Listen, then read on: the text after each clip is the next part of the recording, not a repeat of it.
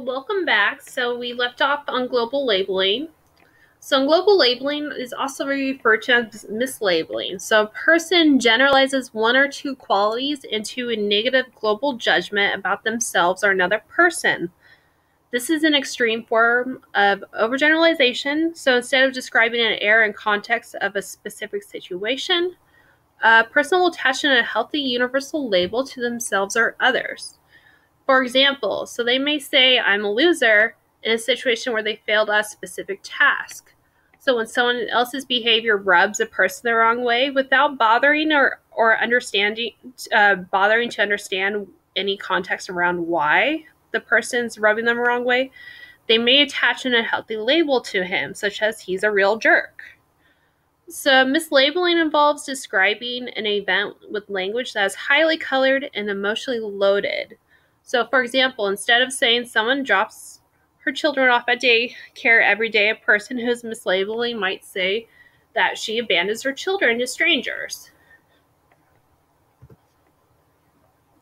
So, always uh, number 14 is always being right. So, when a person engages in this in this distortion, they are continually putting other people on trial to prove their that their own opinions and actions are the absolute correct ones.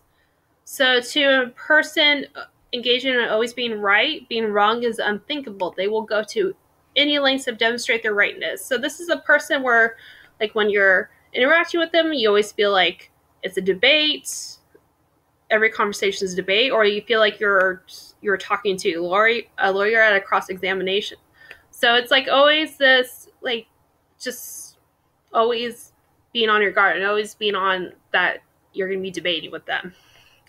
So, for example, so this person is thinking, I don't care how badly arguing with me makes you feel. I'm going to win this argument no matter what because I am right. Being right often is more important than the feelings of others around a person who engages in this cog- cognitive distortion, even loved ones. So, the final cognitive distortion is the false belief, is uh, heaven's reward fallacy. So this, uh, the final cognitive distortion is the false belief that a person's sacrifice and self-denial will eventually pay off, as if some global force is keeping score. So this is kind of like uh, where if you work hard, everything will work with, out for you, or if you just work hard enough in school, or if you just work hard enough at work, you'll get that promotion, or you'll get that good grade. So this is a riff on the fallacy of fairness. So it's very similar in that way. Because in a fair world, the people who work the hardest will get the largest reward. When it's not always the case. Sometimes like it just depends on the situation. Sometimes no matter how hard you work at work, sometimes you don't get a promotion. A person who sacrifices works hard but doesn't experience the expected payoff will usually feel bitter when the reward doesn't come.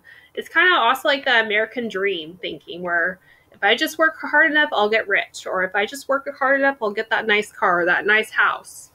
So that's the heaven reward fallacy.